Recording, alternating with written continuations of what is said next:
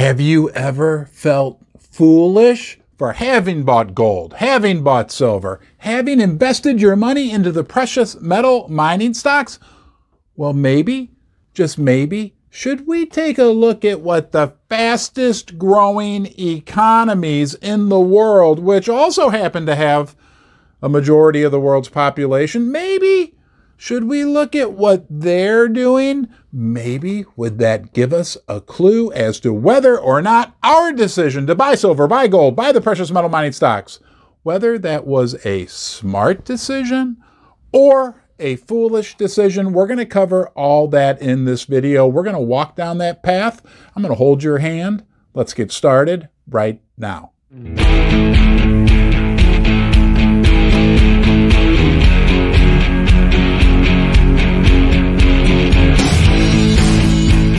All right, give me your hand. I can't believe I said that, but since I did, give me your hand and let's head east. That's actually the direction that I'm pointing because east is where all of the precious metals are heading to right now. Silver, gold, platinum, palladium. They are leaving London. They are leaving New York City. And either by boat or aeroplane, they are all heading east. As a matter of fact, we've had almost 600 metric tons leave New York alone since April of this year. And where do you think it's all heading? Shanghai, Istanbul, New Delhi, the Middle East, everywhere in the East is gobbling up silver and gold. There's not enough to satisfy their insatiable appetite. I still got your hand. Let's look over there. You know what's over there? India. They are importing 10,000 metric tons of silver this year. That is 350 million ounces. That is a huge part of the 850 million ounces, which will be mined on a worldwide basis this year. If my math is correct, that means that for every 10 of the harder to get out of the ground ounces that the mining companies are pulling from the Earth's crust, out of every 10, four of them are heading to our good friends in India. We got a lot more to cover further down the path to walk. I'll keep holding your hands. Fascinating, interesting information. If you get any type of value from this video, and I hope you do, either education, entertainment, or some combination thereof, please, please consider subscribing to my channel.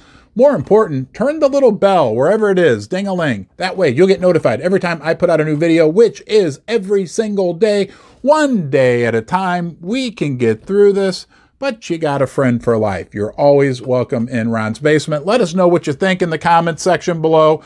You can be critical of me. Trust me, I know I'm not perfect and I'm often wrong, but we want to learn from you and we want to learn about you. Now let's get back to the path. Let's look over there with our flashlight. What do we see? the central banks in the eastern countries have been net buyers of gold for the last number of years. And our friends in India, they just never let us down. Their central bank has been buying gold for the last number of years. It now has almost 800 metric tons of gold. But wait until you hear this. Sit down. No more doing Zumba, whatever you're doing here while you're watching me. Sit down for this one. You may know this. I didn't know this. Indian households have 25,000 metric tons of gold. They love gold. We know they love silver, but they have 25,000 metric tons of gold. Do you know how much gold the entire United States government has? Fort Knox and all that? 8,000. Indian households alone have more than three times the amount of gold that the U.S. government has. And that's because in Asia, they look at gold differently. They look at it as a basic form of savings, is what I'm told. I'm not there. I don't know. I've got a lot of Indian friends and Asian friends. I'll need to ask them how they feel about it. But if you're Indian or Asian or have firsthand knowledge, tell us in the comment section below. These people view gold and silver much, much differently than here in the West because We've basically been brainwashed against gold and silver. Our central bank, when it went off the gold standard, they don't want gold to do well. It makes the fiat make believe fairy dart fust, pust, fart, dust, whatever you want to say, make believe fiat currency like the dollar. If gold does well, that makes the dollar look bad. So they've had a concerted effort to have the American public not be interested in silver and gold except for us, the 1 in 200, right? Right? We're like the the smart guy. We're not like the herd. We like to dive a little deeper, which is what we're doing right now. And at some point, they're all going to want to join us. But you know what? There's not going to be any silver or gold left. I digress. Let's get back on the path. Give me your hand and look at the next subject. Now, you hold on to my hand tight because we're going to go a long way down the path all the way to London, England. Some of you don't have to go that far because we've got a lot of people that come to the basement that are from the UK. You're welcome from wherever you are in the world. But now that we've arrived in London, where I've never been coincidentally, we're going to go to the big LBMA, the London Bullion Market Association. They're one of the big central clearinghouses for precious metals. They had a conference. I was not invited.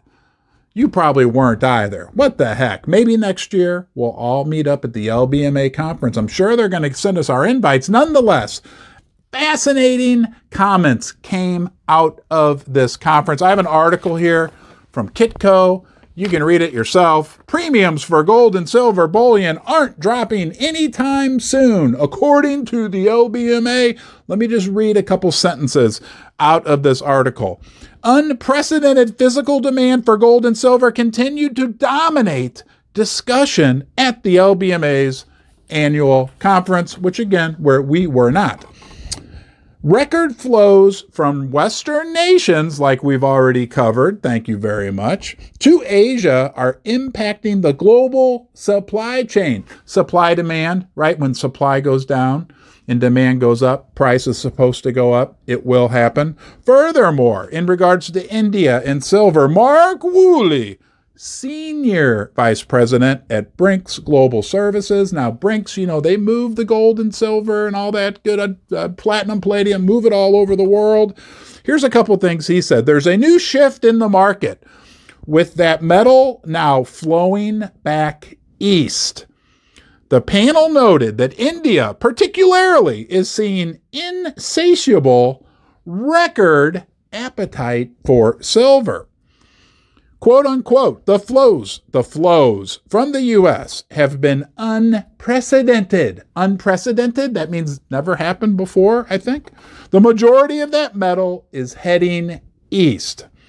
In regards to China and gold, after two years of market disruptions, China is once again asserting its dominance, dominance in the gold market with record imports in the last few months. Unprecedented, record. These are the words we are reading.